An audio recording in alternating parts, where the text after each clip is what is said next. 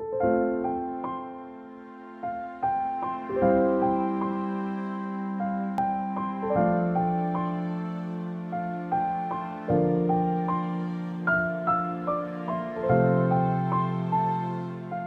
απόφαση να σπουδάσω γιατρός δεν ήταν μια απλή απόφαση, αλλά ήταν ένας όρκος πραγματοποίησης τη επιθυμία του πατέρα μου από το κρεβάτι του πόνου, πάσχοντας ο ίδιος από σοβαρή καρδιακή νόσο και που μου προέτρεψε να γίνω γιατρός καρδιολόγος.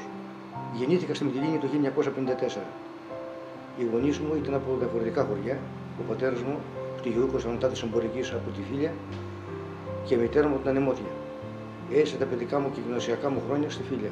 Το γεγονός που σημάδεψε την παιδική μου ηλικία ήταν η πρόορη απώλεια του πατέρα μου που έφυγε νεότατος 53 ετών. Η απώλεια του πατέρα μου είχε καθοριστική, θα έλεγα, έως και ανατρεπτική επίδραση στη μετέπειτα ζωή μου. Εντελώς ξαφνικά έχασα την παιδική μου υπόσταση. Μετατράπηκα σε ένα νεαρό ενήλικα με στόχους και ιδανικά.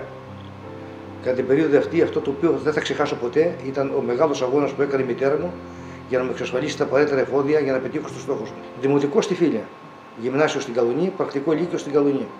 Και αμέσως μετά, κατόπιν εισιτηρίων εξετάσεων, στην ιατρική σχολή του Αριστοτελείου Πανεπιστημίου Θεσσαλονίκης. Τα χρόνια εκείνα το να περάσει κανείς στην ιατρική ε, ήταν πάρα πολύ δύσκολο και γιατί, για πολλούς παράγοντες. Ε, και για αντικειμενικούς παράγοντε όπως είναι η έλλειψη καθορισμένης εξεταστίας ύλη, ο περιορισμένος αριθμός εισακτέων στα πανεπιστήμια, 200 στην Αθήνα και 150 στη Θεσσαλονίκη, ε, και για ε, ε, υποκειμενικούς λόγους, όπως ήταν η εγγενής αδυναμία να παρακολούθησε φροντιστριακών μαθημάτων, που απαιτούσε πολλά έξοδα, πολλά χρήματα τα οποία δεν υπήρχαν. Και στο σημείο αυτό θέλω, θέλω να εξάρω και να επισημάνω τη μεγάλη προσπάθεια που έκανε οι καθηγητές μας την εποχή εκείνη να μας, να μας προετοιμάσουν για το σκοπό αυτό. Η φοιτητική ζωή ήταν αρκετά δύσκολη και για μένα ακόμα δυσκολότερη γιατί τα χρήματα τα οποία διέθετα ήταν μετρημένα. Την ιατρική εξασκόπη 42 χρόνια, 35 ως καρδιολόγος. Δεν μετάνιωσα που έγινα γιατρός. Κατά την πορεία μου αυτή, την άσκηση δηλαδή, της ιατρικής και ειδικότερα της καρδιολογίας, ε, είχα άπειρες συγκινήσεις. Για το αν πέτυχα ή όχι, μπορώ να πω ότι για να πετύχει κανείς σαν γιατρός δεν χρειάζεται να είναι μόνο επιστήμονας καλός, αλλά πρέπει να αγαπά και αυτό το όν που λέει άνθρωπος. Και εγώ τον άνθρωπο, τον άνθρωπο τον αγάπησα πάρα πολύ. Για την επιστημονική μου επάρκεια δεν θα πω εγώ τίποτα, θα πει ο κόσμος και, και κυρίως οι συνάδελφοί μου. Είναι λοιπόν φανερό ότι αισθάνομαι μεγάλη συγκίνηση βλέποντας ότι πλησιάζει η μέρα της αποχώρησής μου, την οποία αναβάλω συνεχώς. Και ειλικρινά δεν ξέρω να σας πω για πόσα ακόμα θα την αναβάλω. Δεν μπορώ να φανταστώ τη ζωή μου χωρίς την ιατρική. Παρ' όλα αυτά θα το αντιμετωπίσω. Από μικρό παιδί ήμουν έντονα πολιτικοποιημένος εξαιτίας της πολιτικής δραστηριότητας του πατέρα μου. Μεγάλωσα και γαλοχήθηκα, αλλά ποτέ δεν φανατίστηκα με τα ιδανικά και τα οράματα της Δημοκρατικής Παράταξης. Στο Πασόκ, του οποίου είμαι ιδρυτικό μέλος, εντάχθηκα και θεώρησα ότι αποτελούσε τη συνέχεια της Δημοκρατικής Παράταξης. Δυστυχώς στο ίδιο κόμμα εντάχθηκαν και άλλοι για άλλους λόγους με τα γνωστά αποτελέσματα. Παροτρύνσεις να ασχοληθώ με την πολιτική είχα και έχω πράγματι πολλές. Ποτέ όμως δεν μου έγινε επίσημη πρόταση να συμμετάσχω στα ψηφοδέλτια του Πασόκ. Εκτός οφείλω να ομολογήσω τις τελευταίες εκλογές που μου έγινε μια ανεπίσημη πρόταση από κάποιο βολευτή του κινήματος. Αντίθετα, έτυχα επίσημες πρόταση από τη Νέα Δημοκρατία να συμπεριληφθώ στο ψηφοδέλτιό της ως συνεργαζόμενος. Η σημερινή εικόνα της τοπικής αυτοδιοίκησης θα έλεγα ότι έχει σε τοπικό επίπεδο τις παθογένειες του παρελθόντο. Αλλά δυστυχώς σε σοβαρότερο βαθμό. Αντί σαν θεσμός να ενώσει τους δημοτικούς συμβούλους κάτω από τον κοινό σκοπό που είναι η ανάπτυξη του τόπου και η βελτίωση της ζωής των δημοτών, τους χωρίζει.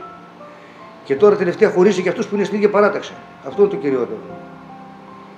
Θέλω να πιστεύω ότι, και πράγματι το πιστεύω, ότι όλοι όσοι ασχολούνται με την τοπική αυτοδιοίκηση, σε τοπικό επίπεδο, όλοι νοιάζονται για τον τόπο το ίδιο, στον ίδιο βαθμό. Αλλά δεν έχουν τις ίδιες ικανότητες και τις ίδιες δυνατότητες. Γι' αυτό επιτακτική προβάλλει η ανάγκη ε, να, ενωθούν, να ενώσουν τις δυνάμεις τους όλοι, να συμπληρώνουν ένας τον άλλον για τον κοινό σκοπό. Από πληροφορίε που έχω, γράφετε κάποιο βιβλίο. Θέλετε να μας πείτε ποια είναι η θεματολογία του; Ναι, έχω, το, έχω, το έχω τελειώσει ήδη. Είναι κλινική καρδιολογία. Ε, βρίσκομαι στο στάδιο της επικαιροποίησης και της διόρθωσης και θέλω να πιστεύω ότι σταδιακά θα το εκδώσω σε τέσσερις τόμους. Είσαι από τους λίγους τους γιατρούς που έχω συναντήσει. Δίνεις στους ασθενείς ζωή προτού η καρδιά ραγίσει. Είσαι μεγάλη κορυφή και όλοι σε θαυμάζουν, γιατρεύεις όλες τις καρδιές και όλοι σε δοξάζουν. Δίνεις ζωή στον άνθρωπο με τα καλά σου λόγια και με την εμπειρία σου που έχεις τόσα χρόνια. Γιατρός για να είσαι στη ζωή πρέπει να το πιστέψεις. Τον ασθενή που έρχεται, καλά να το γιατρέψεις. Μου το έγραψε μια κυρία από τον Τρίγωνα, τη θεώρησε ότι τη βοήθησε πάρα πολύ και είναι, είναι αυθεντικό, είναι ένα ορθόγραφο, είναι πάρα πολύ ωραίο. Η πανδημία μπορώ να πω ότι είναι η μεγαλύτερη συμφορά που έζησε και ζει η ανθρωπότητα από των ημερών μου. Γι' αυτό κάνω έκκληση στον κόσμο να εμβολιαστεί. Δεν υπάρχει άλλη λύση. Ο ιό προσβάλλει την καρδιά, προκαλώντας μυοκαρδίτητα και περικαρδίτητα που είναι σοβαρές επιλογές και δεν έχουν σχέση με την ηλικία. Και αυτό πρέπει να το λάβουμε όλοι σοβαρά υπόψη.